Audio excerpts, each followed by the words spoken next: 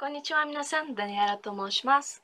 私は趣味がたくさんあるけど、一番趣味は読書です。子供の時から本が大好きです。そのため、毎週図書館に行きました。